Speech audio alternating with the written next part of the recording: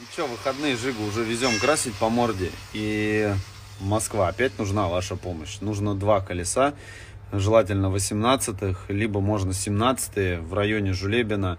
5 на 114,3 на 2 дня. Жнек, что делаешь? Труба гнется?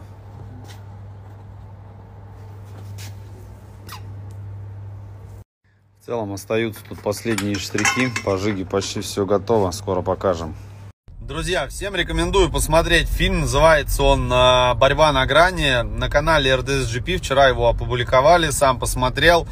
Э, правда, там эта сцена со стеной в Рязани, будь она неладна. Но фильм крутой. Смотри по свайпу. Прислали дизайн автомобиля сопровождения этой технички, на которой будет ездить Жига Царь. Прислали дизайн палатки в сервисном парке. И это, конечно, Ну, вроде неплохо сделали на самом деле, да? Да, да, слушай, а что там у нас по тонировке пост какой-то был? А А вот она, тонировочка родимая, пошла.